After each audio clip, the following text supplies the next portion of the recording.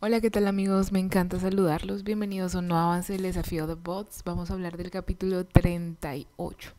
En esta prueba veremos que esta se estará dando a cabo en el bots azul, pero pues al parecer empezará la pesadilla para un superhumano.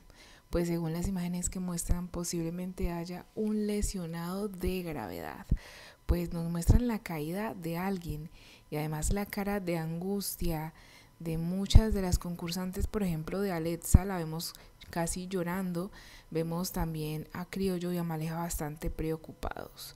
Y pues las palabras de Andrea no son alentadoras, pues esta les dice que apenas tenga el parte médico se va a comunicar con sus compañeros.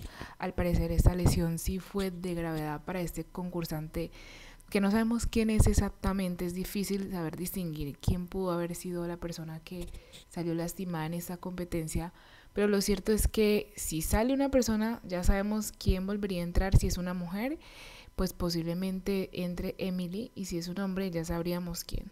¿Ustedes qué opinan de esto? Déjenmelo saber en los comentarios.